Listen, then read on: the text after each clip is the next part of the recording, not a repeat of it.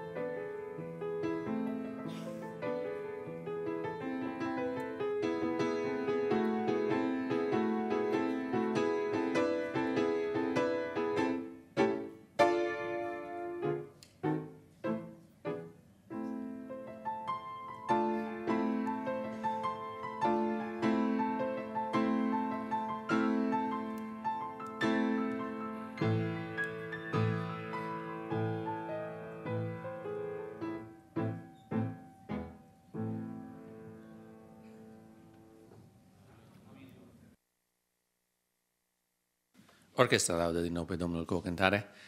După cântarea orchestrei, sora Aurora cu o poezie.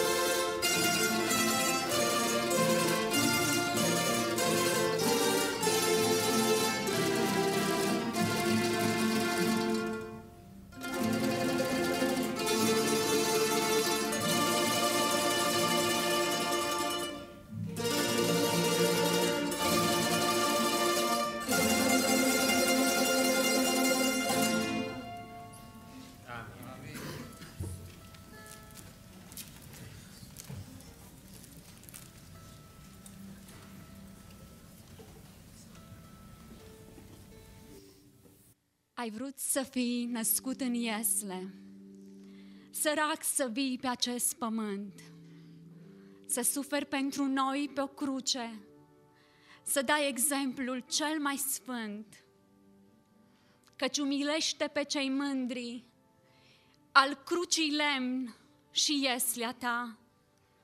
Modest ai fost tu, prinț al păcii, în Betleem și Golgota. Venit au magii să se închine, conduși de-al stelei răsărit. Mulțimea a privit în vremuri spre locul unde te-ai jertfit.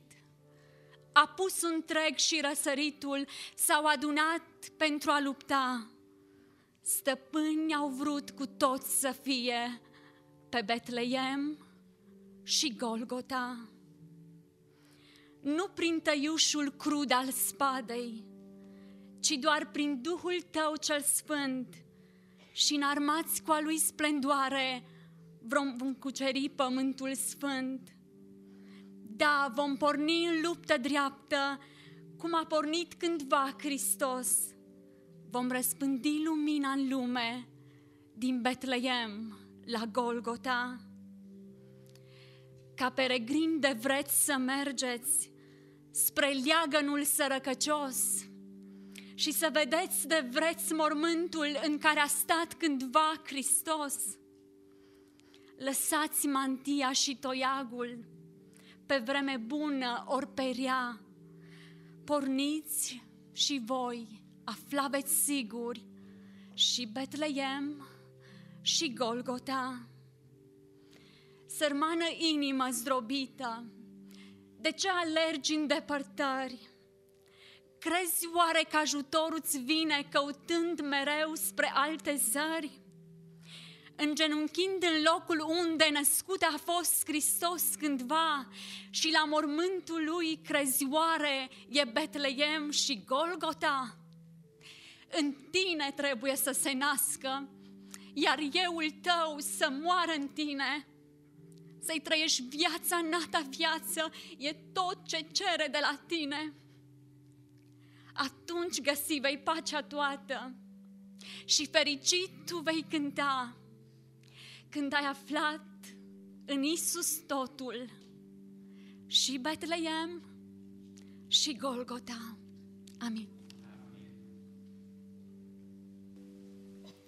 Fratele Avram Ștefănescu laudă pe Domnul cu o cântare, după care din nou orchestra.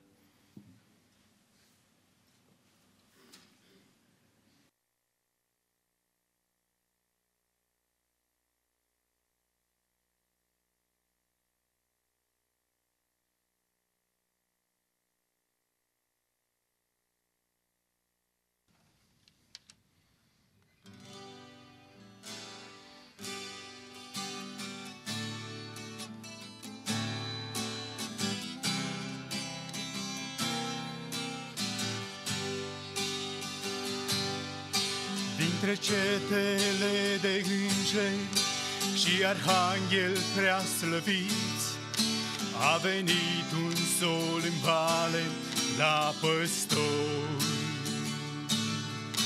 Nu vă temeți, vă zic vouă, și nu vă înspăimântați, vă aduc o veste bună și pe Domnul lăudați.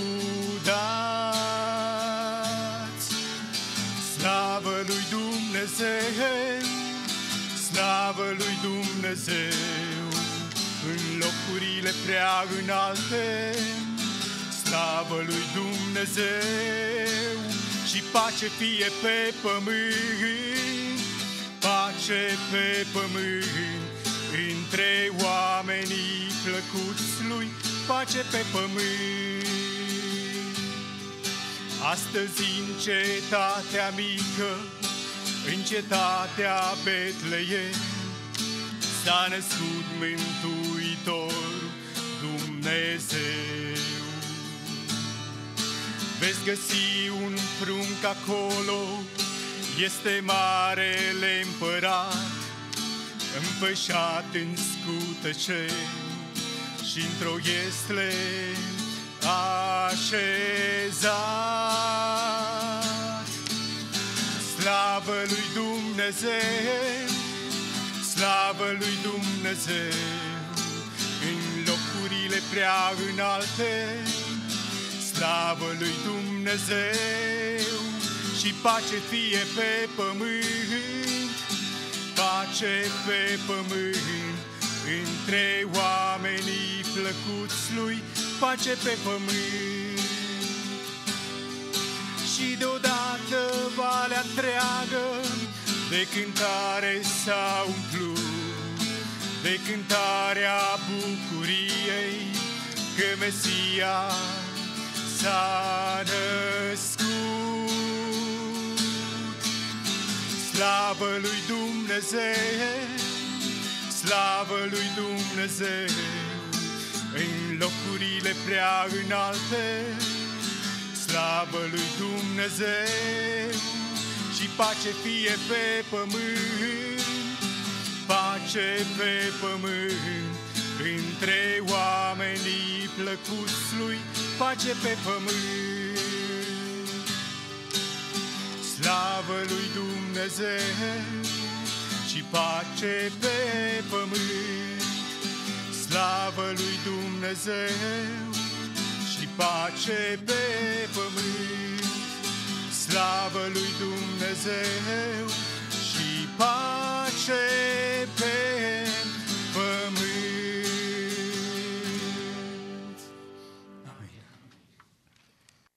Cântă orchestra. Fratele Marius dorește să depună o mărturie.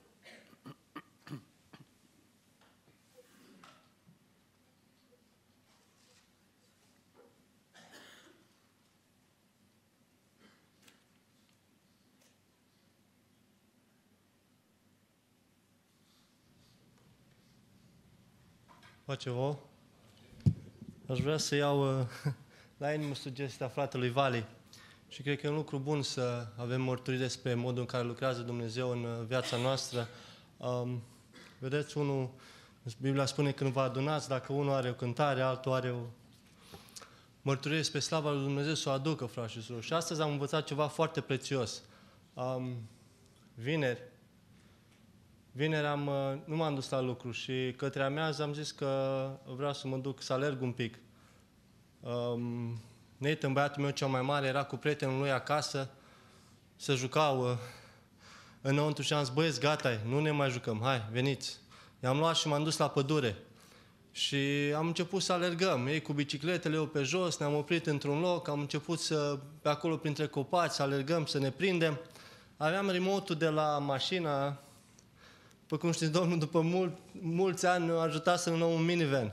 Și aveam două, unul dintre ele am zis, băi, lăs cheile în mașină, iau remote cu mine, l-am pus în, în buzunar și cât am alergat pe acolo, l-am pierdut. Da, asta, dai seama. Am zis, Doamne, dar vreau, am făcut un lucru bun, am luat pe copiii ăștia cu mine să mergem să ne jucăm și să fim împreună în natură și acum am pe remote În fine, i-am dus acasă. Mi-a zis, Doamne, vreau, am nevoie de o minune astăzi. Vreau să găsesc remote ăla și uh, m-a rugat, mi-am luat bicicleta și m-am dus din nou la Forest Preserve. Am început să merg pe acolo și interesant că remote ăla e mic așa și sunt peste tot sunt frunze în pădure.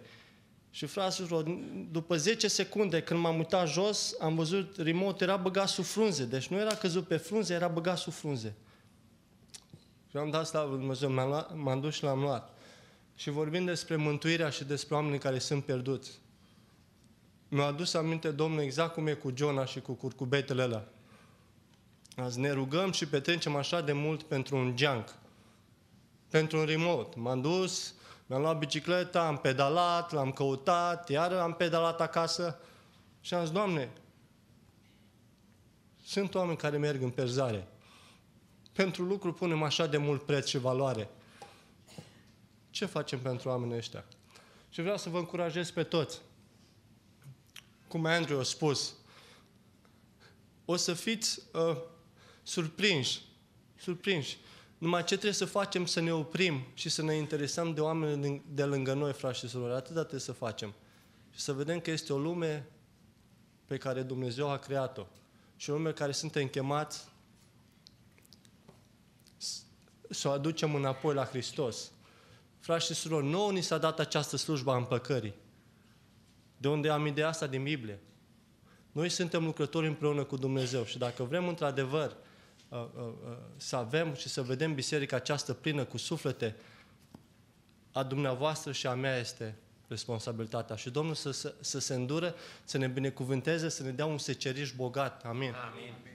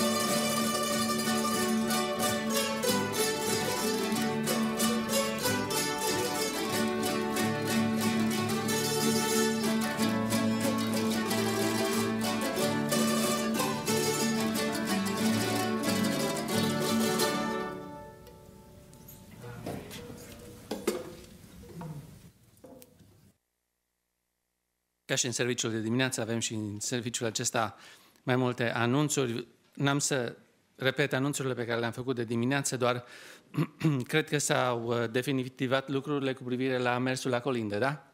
Peti.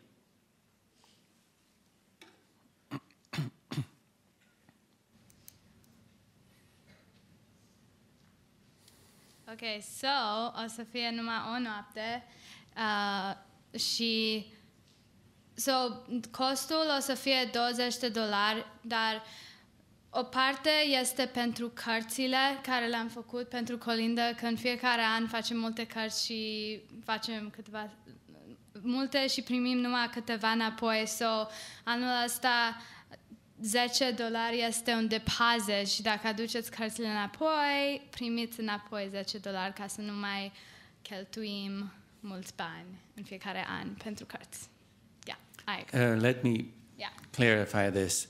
Is it 10 plus 10 or is it It's 20? 20 and you can get 10 back. All right. All right. Yeah. Thank you. Yeah. Um,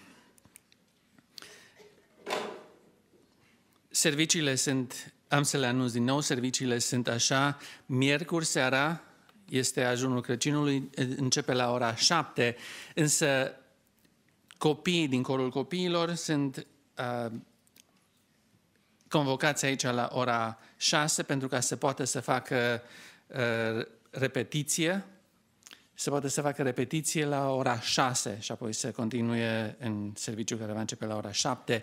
În joi, în ziua de Crăciun, serviciul începe la 6 și de asemenea avem un serviciu și a doua zi, vineri, seara tot la ora 6, când ne vom întâlni aici cu frați și surori din toate bisericile românești din uh, zona Chicago. Um, după ce se termină serviciul, orchestra mare și or- orchestra mare rămâne pe loc, voi sunteți orchestra mare care sunteți aici, și orchestra mică trebuie să vină să li se alăture. Toți cei care sunt într-o clasă de, în vreo clasă de uh, mandolină sau de chitară, să vină aici să se alăture orchestrei mari. Um, de asemenea, cei care s- adună colecta, copiii care adună colecta, să meargă la Soracoca, nu știu unde să se întâlnească, acolo, la locul lor de întâlnire, um, pentru o, un anunț din partea la Soracoca. Fratele Daniel are două anunțuri de făcut. Primul e referitor la slujirea pe care o face corul, corul unit. Uh, intenționăm la sărbătorile acestea să slăvim pe Domnul cu un cor din, format din toate corurile bisericii, mai puțin copiii. Deci corul tiner, corul de cameră, corul mix, corul bărbătesc, toți sunt invitați să participe în seara asta la repetiție, după terminare, și apoi la sărbătorile care urmează. Domnul să-i binecuvânteze. Este o slujire pe care o fac pentru glorificarea minunatului Mântuitor de care Dumnezeu ne-a făcut parte în persoana Domnului Isus Hristos. Cred că niciun efort de al nostru nu este prea mare ca să ne arătăm mulțumirea și recunoștința față de Cel care părăsit slava, s-a coborât, a luat chip de rob și a venit să ne mântuiască, slavă Lui. Uh, un alt anunț este cu privire la o întâlnire pe care o avem mâine uh, seara la orele 7. Intenționăm să oferim cursuri de nivel de college prin școala noastră, pentru că aceste cursuri să fie uh, um, acreditate. Cei care le predau trebuie să aibă cel puțin uh, uh, gradul de master. Cei care au acest grad sau superior și doresc să participe la aceste uh, uh, cursuri, să le predea, uh, um, în viitor uh, sunt uh, rugați să vină mâine la orele 7 pentru a putea pune la uh, punct un program de a preda uh, la nivel de college și, de ce nu, în cele din urmă oferi un bachelor degree în uh, ce domeniu doriți. Asta presupune că veți putea economi, economisi o serie de bani uh, uh, nemergând la o universitate uh, care cere tuiș nu foarte ridicat, uh, lucrând împreună cu noi la această școală pe care o dorim binecuvântată de Domnul, așa cum este și cealaltă care a existat până acum. Domnul să fie slăvit și pentru acest uh, proiect și pentru această inițiativă. Avem uh, concursul fraților din alte biserici care au uh, uh, studiile respective și care vor fi mâine aici și împreună vom porni acest proiect. Astea sunt anunțurile care le-am făcut. Domnul să ne binecuvânteze pe toți să le iubim cu adevărat. Amin. Amin. Fratele Daniel Ștef, mă rugați să fac u- anunțurile următoare.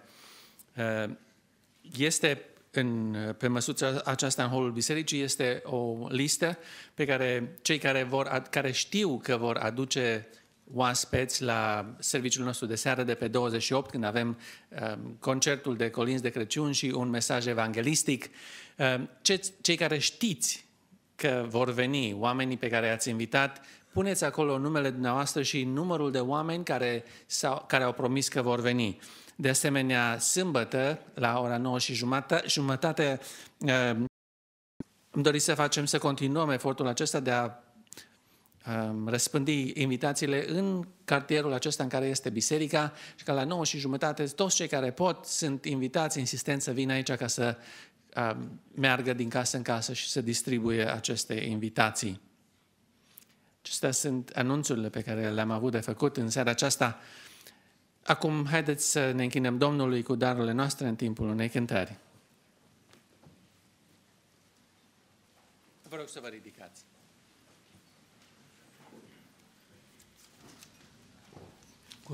Puneți rog primul verset de la această cântare, este versetul 2. Dar hai să cântăm cântarea care uh, a cântat-o orchestra acum câteva minute. El ne-a adus pace și bucurie lumii pierdute pe veșnicie. Care poate dintr-o cântare mai mare, dar cred că se știe.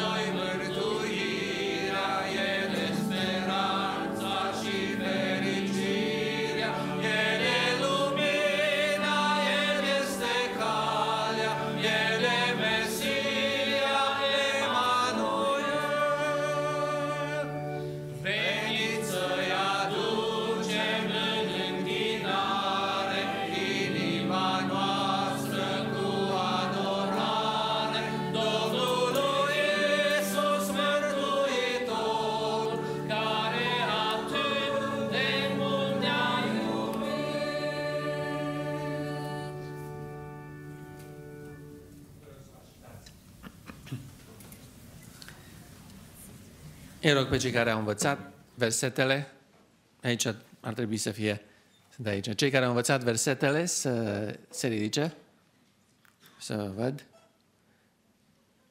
Am avut repetiție, nu? Trebuia să recapitulăm. Versetele alea suntem, uite, acum convin. Uite, convin. Domnul să vă binecuvânteze pe toți. Repetațiile bine, să le știți foarte, foarte bine pe data, pe data când cu ajutorul Domnului le ascultă. Bine? Domnul să vă binecuvânteze. Vrem să dăm timp și celor care slujesc prin repetiție și Dumnezeu să-i binecuvânteze. Sunt efort. Și vreau să ne apropiem de această cântare a lui Zaharia, înregistrată în Luca, în capitolul 1, și cuvântul spune așa, Zaharia, tatăl lui Ioan, s-a umplut de Duhul Sfânt, a prorocit și a zis. Nu este interesant, atunci când cineva este plin de Duhul Sfânt, acela binecuvântează pe Dumnezeu, acela are cântări pe buze, acela participă cu toată inima la slăvirea lui Dumnezeu. Dar nu pot să-mi închipui că cineva care participă în adunarea credincioșilor și să cântă o cântare și în stare să cânte și nu cântă, îi plin de Duhul Sfânt. Voi vă puteți închipui așa ceva? Un om care e plin de Duhul Sfânt, dar nu este mișcat de cântare de laudă, dar nu vrea să laude pe Dumnezeu, nu vrea să participe la laudele poporului lui Dumnezeu.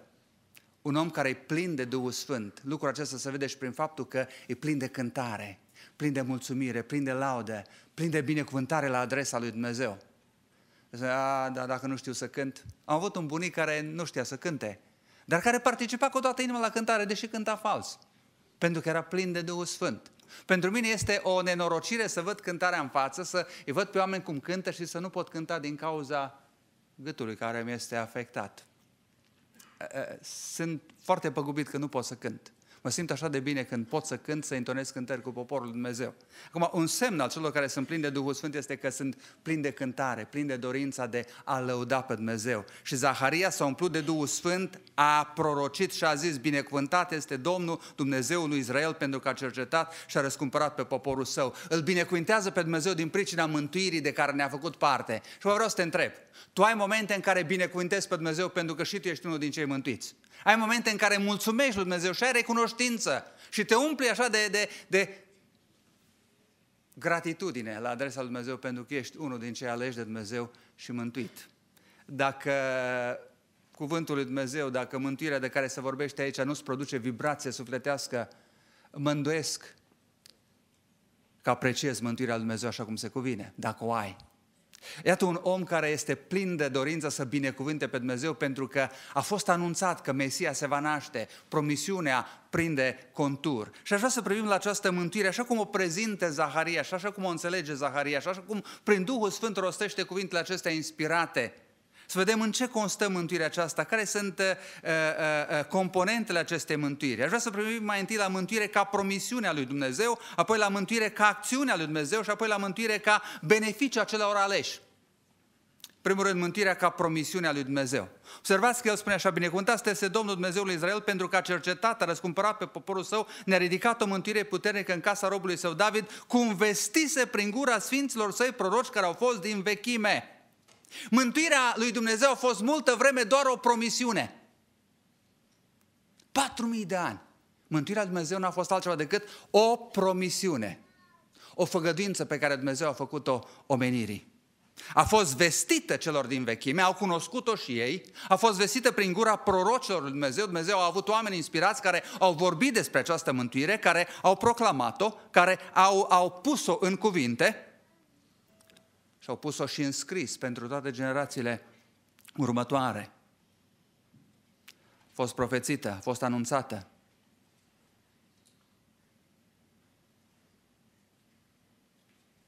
Știți că multă vreme cei aleși au fost susținuți în credință și pe cale doar de o simplă promisiune a lui Dumnezeu. O sută de ani trăiește Avram și promisiunea încă să nu fie împlinită. Și după ce primește o parte din promisiune prin Isaac, cuvântul zice că a murit și a murit în credință fără să primească ce a fost promis. Ce l-a susținut pe cale? Promisiunea Domnului. Faptul că Dumnezeu a promis anumite lucruri. Tu poți să treci pe baza promisiunilor. Sau dacă Dumnezeu nu-și împlinește o vreme promisiunile față de tine, dai înapoi. Și cuvântul, noi nu suntem din acei care dau înapoi, ci din cei care au credință spre mântuire. Să călcăm pe urmele celor ce prin credință și răbdare moștenesc ce? Făgăduințele. Mântuirea lui Dumnezeu a fost multă vreme doar o promisiune. A fost însă întărită, așa cum spune cuvântul, ca hotărâre a lui Dumnezeu. Dacă întoarce Scriptura la, vers, la Evrei, capitolul 6, uh, versetul 13, Dumnezeu când a dat lui Avram făgăduința, fiindcă nu putea să se jure pe unul mai mare decât el s-a jurat pe sine însuși. Versetul 17, și de aceea și Dumnezeu, fiindcă voia să dovedească cu mai multă tărie moștenitorilor făgăduinței nestrămutarea hotărârii lui, a venit cu un jurământ. Promisiunea a fost întărită ca hotărâre de către Dumnezeu. Și acum știți ce înseamnă o hotărâre. Biblia spune că toate hotărârile lui Dumnezeu vor rămâne în picioare. Hotărârile lui vor deveni realitate. Dumnezeu își împlinește hotărârile sale, nu contează ce se întâmplă, nu contează ce survine, nu contează cât de potrivnice sunt circumstanțele. Dumnezeu își împlinește toate hotărârile sale. Promisiunea, Dumnezeu o transformă în hotărâre ca să ne arate că putem să ne bizim pe El și pe cuvântul Său. Promisiunea aceasta este apoi pecetluită cu jurământ, spune Zaharia. Astfel își arată îndurarea față de părinții noștri, versetul 72. Își aduce aminte de legământul cel sfânt potrivit jurământului pe care se jurase părintelui nostru Avram. Promisiunea e întărită ca hotărâre, hotărârea este pecetluită ca jurământ și în sfârșit Dumnezeu oferă această promisiune pe baza unui legământ. Versetul 72. Astfel își arată el îndurarea față de părinții noștri și își aduce aminte de legământul lui cel sfânt. Observați expresia, își aduce aminte de legământul lui cel sfânt. Noi am studiat în biserica noastră ce este acel un legământ, în termeni biblici. Nu e un contract, așa cum își închipe unii. Noi promitem ceva lui Dumnezeu și Dumnezeu ne promite cineva nouă. Și dacă noi nu ne ținem promisiunea, s-o terminat și cu promisiunea pe care Dumnezeu ne-a făcut-o. Promisiunea Lui structurată într-un legământ. Și în legământ, legământul pe care Dumnezeu îl încheie, sunt două părți.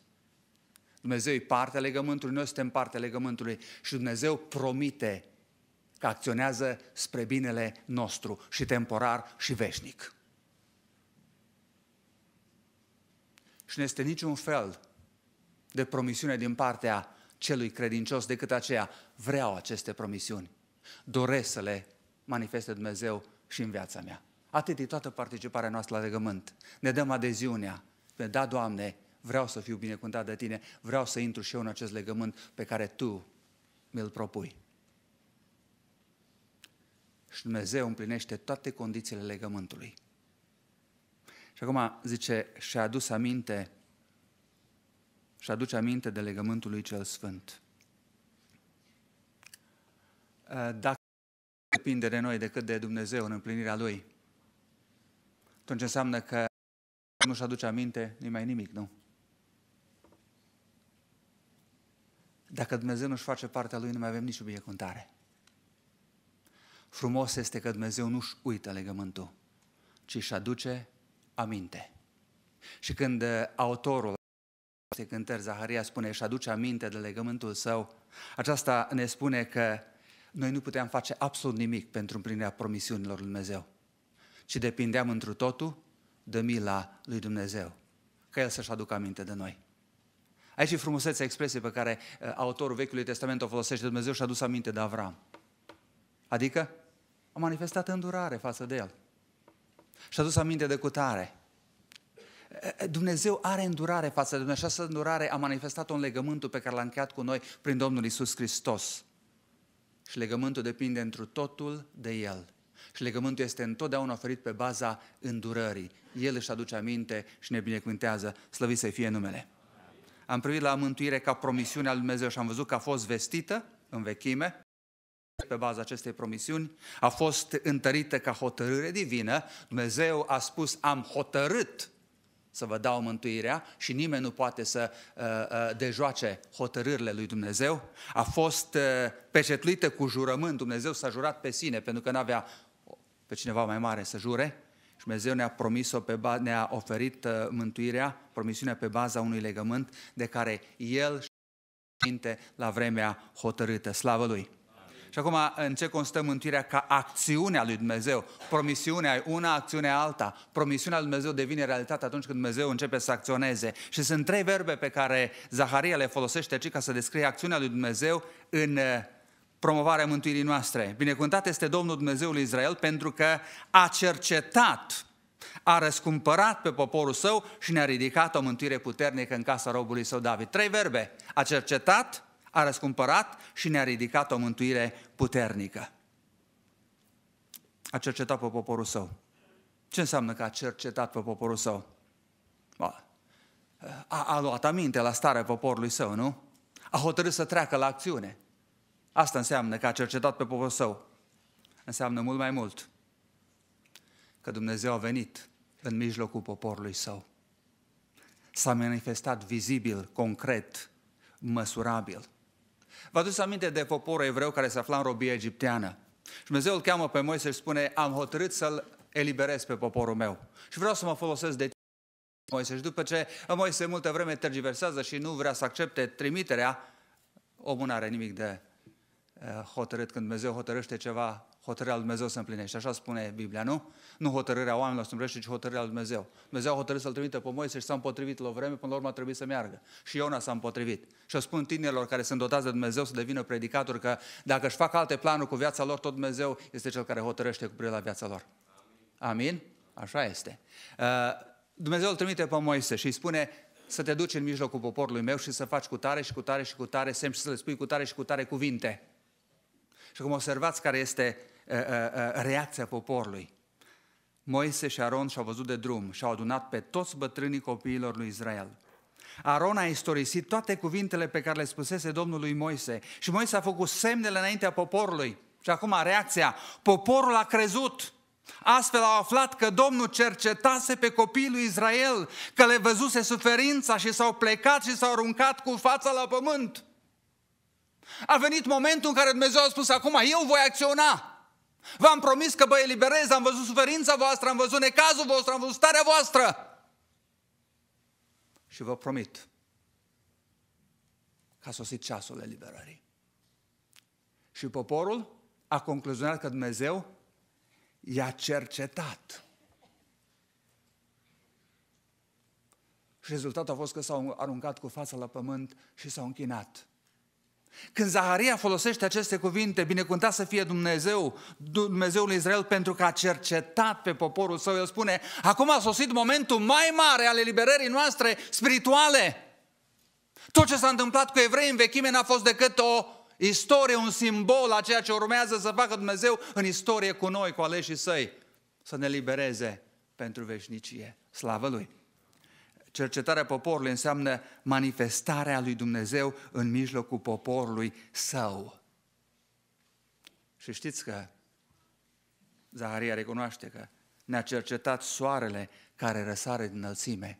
Dumnezeu a venit în mijlocul nostru ca să ne răscumpere, a spus el. Știți cum se definește Dumnezeu pe sine? Foarte interesant. Cel ce era, cel ce este și nu zice cel ce va veni, va fi.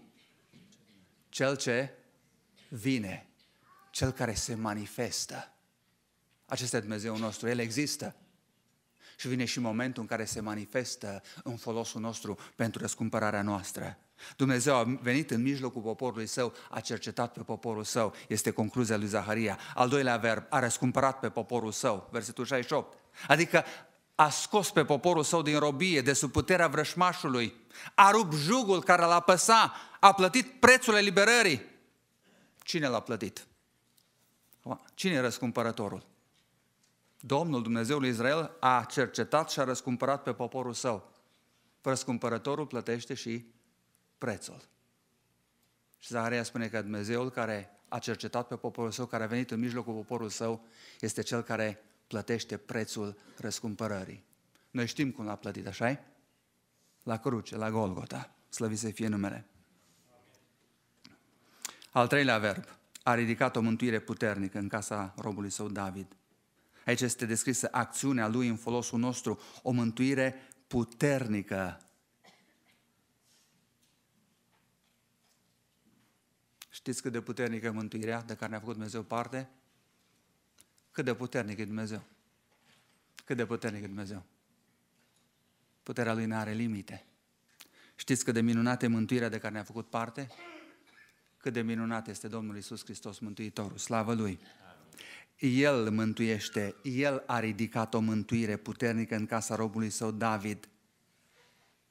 Nu noi ne mântuim, am spus-o de atâtea ori și uh, uh, continui să spun.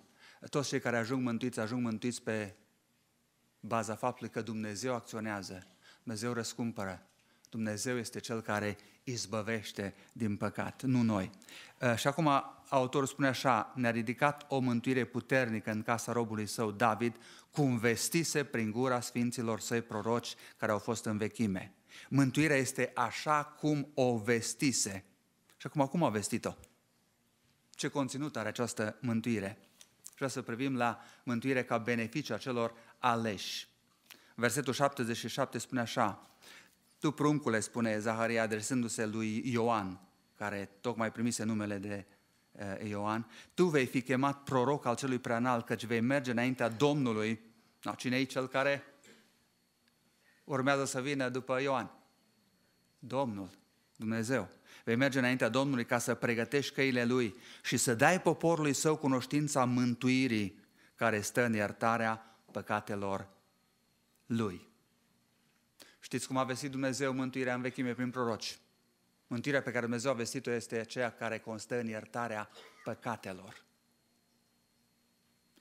Observați cum definește Zaharia ci păcatul.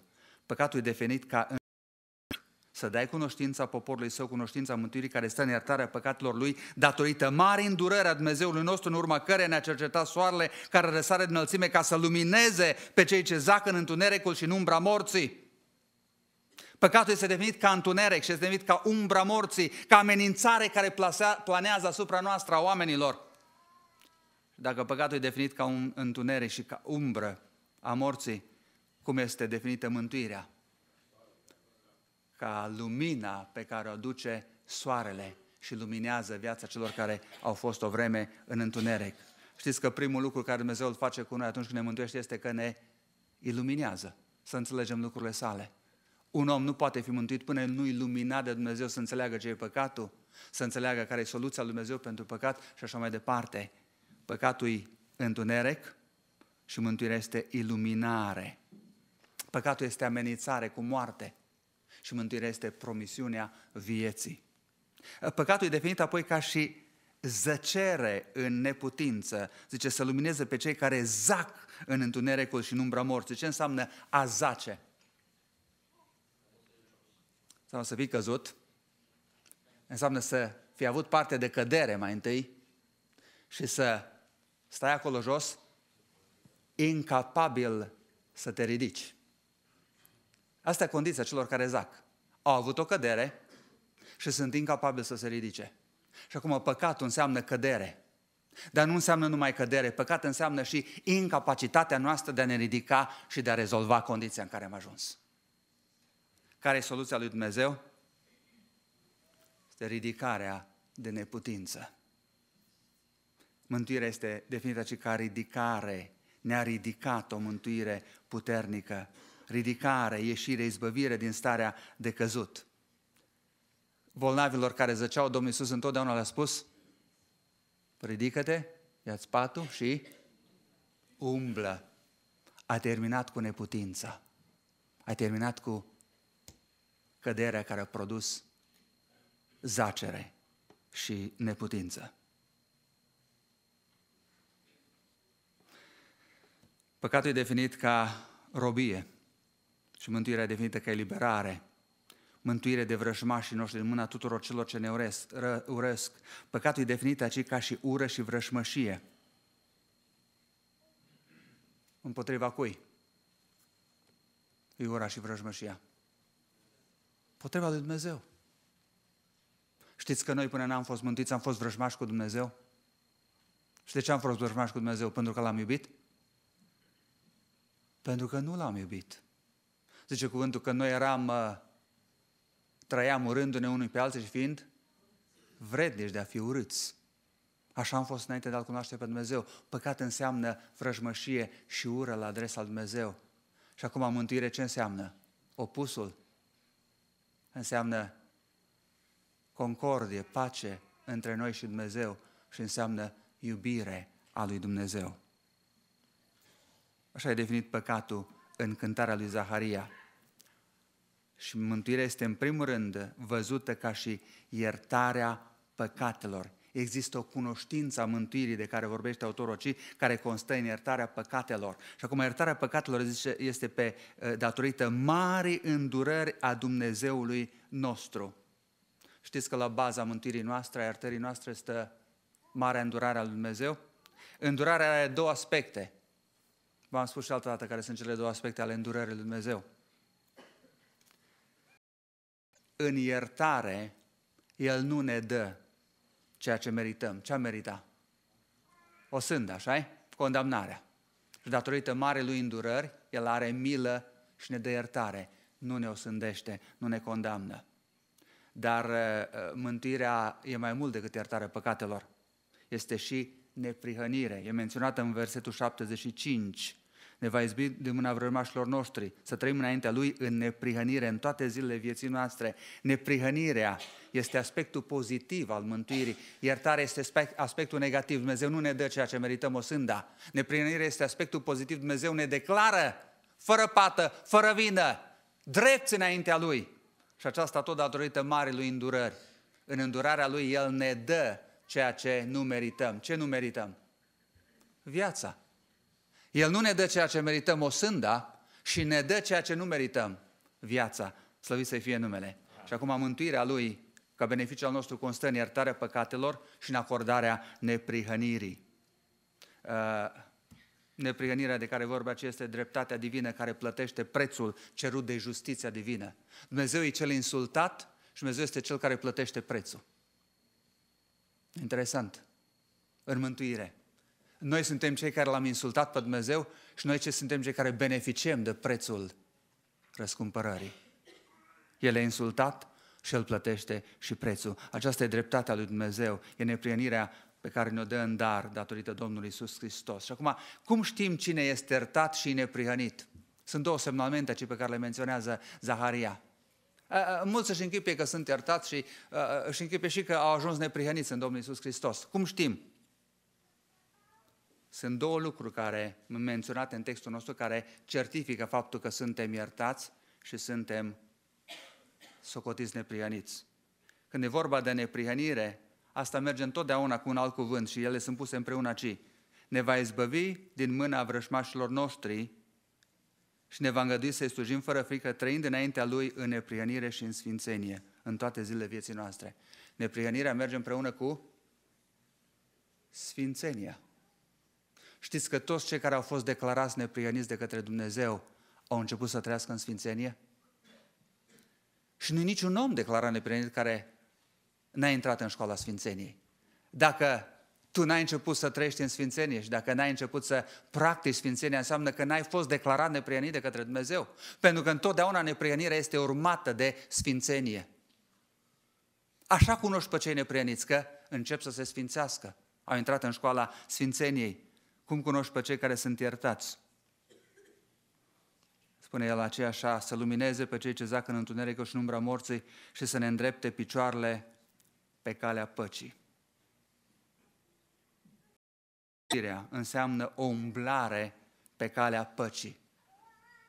Dacă înainte am trăit în vrăjmășie, am manifestat vrăjmășie și față de Dumnezeu și față de alții, după ce am ajuns iertați de Dumnezeu, am început să umblăm cu picioarele pe calea păcii. Și ce înseamnă această pace? Păi dacă îl ofensezi pe cineva, cum se re, uh, uh, restaurează pacea între mine și el? Cerându iertare, așa Și dacă cineva m-a ofensat, cum restabilesc acolo pacea? Acordând iertare, nu așa?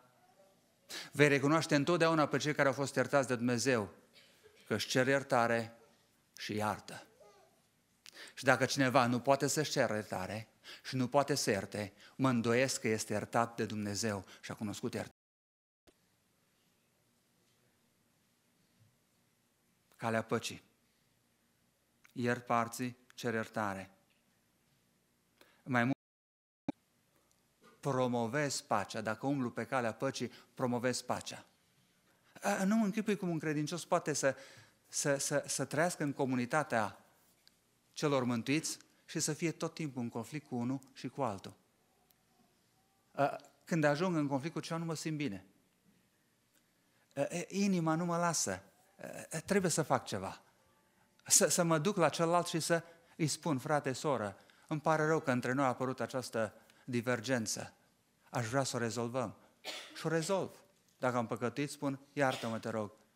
Dacă mi s-a greșit, acord iertarea nu e nicio problemă. Asta e umblarea pe calea păcii. Și acum vreau să te întreb, tu ești unul care umbli în calea păcii în familia ta? Poate soțul tău sau soția ta să vadă că tu ești unul care cauți pacea? În biserică ești un factor ce promovează pacea? La locul de muncă, în societate, ești tu unul care umblă pe calea păcii. Așa îi recunoști pe cei care au fost iertați, că umblă pe calea păcii mai este un semnalment, mai este un beneficiu a celor care sunt uh, mântuiți, este că încep să slujească lui Dumnezeu.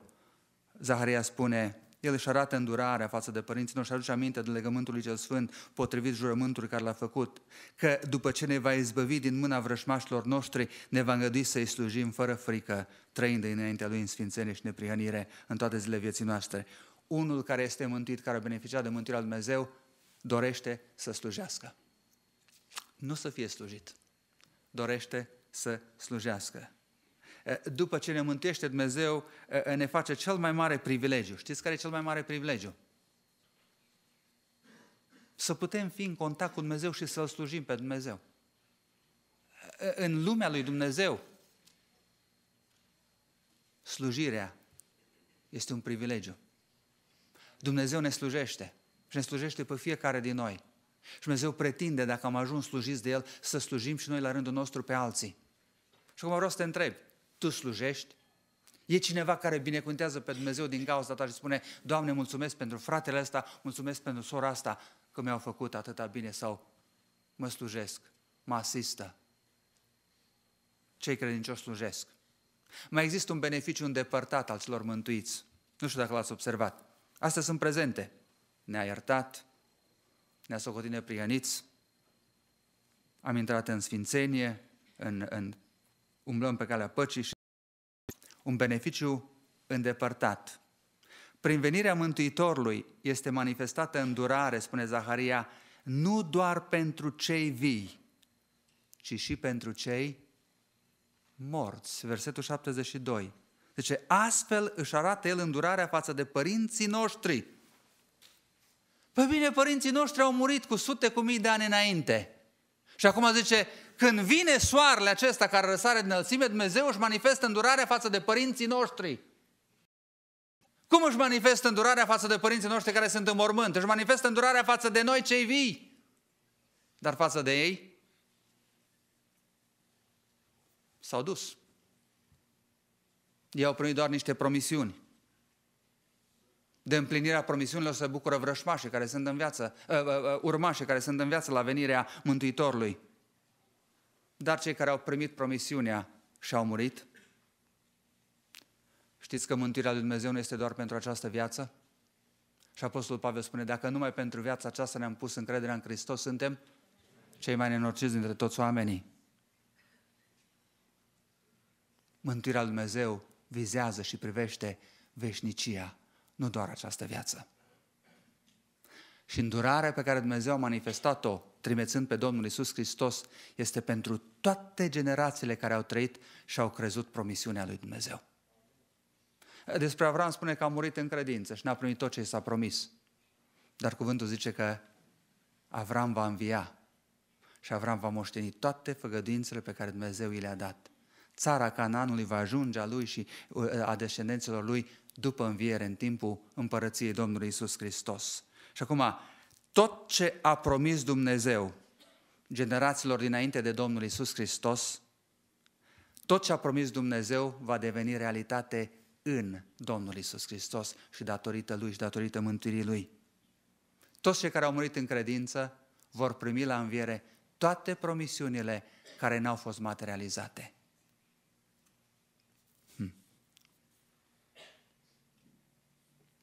Promisiunea învierii în misiunea Domnului Isus Hristos. Știți că mântuirea lui Dumnezeu are trei aspecte și unul este viitor, un aspect este trecut, un aspect e prezent, un aspect e viitor. Le cunoașteți? Le-am spus de multe ori aici. Aspectul trecut al mântuirii.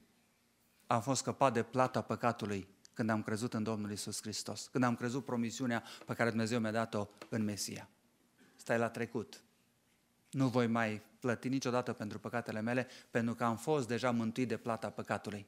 În prezent, aspectul prezent al mântuirii este că sunt scăpat de puterea și de practica păcatului prin sfințire.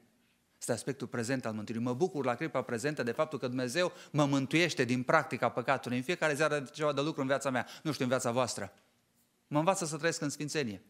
Cad, mă ridic, Dumnezeu mă arată greșeala, mă mărturisesc, mă recunosc neputința și spun, Doamne, depinde de Tine, numai Tu mă poți ajuta, Dumnezeu mă ajută să trăiesc în sfințenie. Asta e aspectul prezent al mântuirii, mă scapă de practica și de puterea păcatului. Și este un aspect viitor al mântuirii. Care este?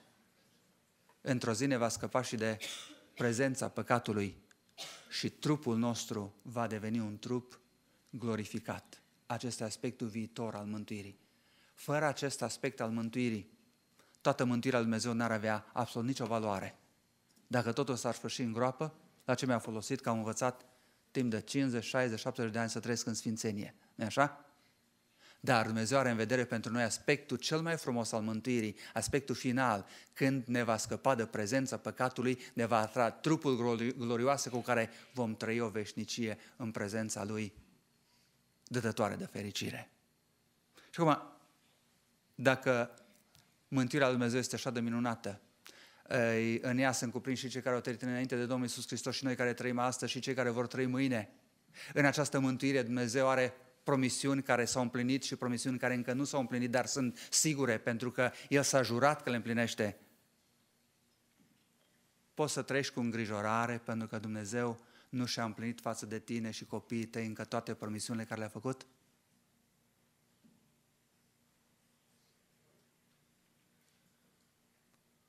Promisiunile Lui, toate în Hristos sunt da, pozitive. Ce a spus își va ține. Dacă l-ai pe Domnul Isus Hristos și dacă ai primit în El promisiunile vieții pentru tine și pentru ai tăi, poți să stai liniștit. Pentru că Dumnezeu își va duce întotdeauna la împlinire fiecare promisiune pe care ne-a făcut-o. Slăvit să fie numele. Amin. Chiar dacă o vreme nu avem decât promisiunea Lui, putem să trăim pe baza promisiunilor sale. Mark Twain a spus că poate trăi o lună de zile pe baza unui compliment bun. Eu pot să vă spun că pot să trăiesc zeci de ani, 20, 30, 40, 50, 100 de ani pe baza unei promisiuni a lui Dumnezeu. Pentru că promisiunile lui sunt toate adevărate și se împlinesc cu credincioșie. Slăvit să-i fie numele. Amin. Fie ca această mântuire minunată de care ne-a făcut Dumnezeu parte în Domnul Isus Hristos să fie bucuria noastră zi de zi și prin ea să trăim în așa fel încât să arătăm că așteptăm ziua aceea când mântuirea noastră va fi dusă la punctul terminus final, când vom fi glorificați în prezența Lui și ne vom bucura de prezența Lui pentru totdeauna. Amin. Amin. Slăvit să fie Domnul pentru această mântuire minunată, pentru mântuitorul minunat Domnul Isus, la cărui naștere o sărbătorim din nou. Haideți acum să ne ridicăm și să încheiem serviciul acesta. Vă rog să țineți minte toate anunțurile pe care le-am făcut, dar în mod deosebit acela cu privire la repetiția corurilor combinate, toți coriștii sunt rugați să rămână după aceea ca să slujească în continuare Domnului. Să mergem cu recunoștință din nou înaintea Domnului și uh, cu voce tare să ne conducă în rugăciunea aceasta fratele Sandu Dobrescu.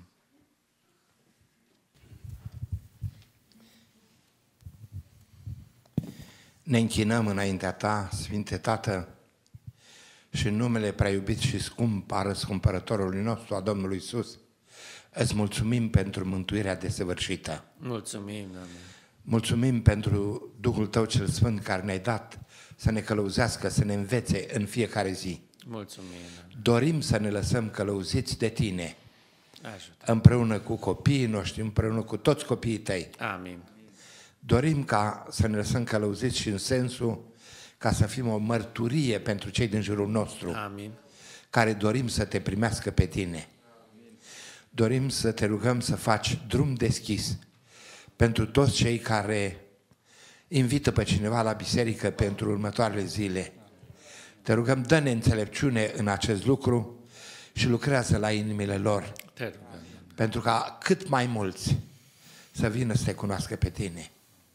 Plin de nădejde, încredințăm în mâna ta aceste dorințe, atât cât și viața noastră, ca să fie o mărturie pentru cei din jurul nostru și pentru gloria și slava numelui Tău. Amin. Amin. Și harul Domnului nostru Isus Hristos, iubirea Tatălui din ceruri și împărtășirea Duhului Sfânt să fie și să rămână cu noi. Amin. Amin. Vă rog să vă așezați.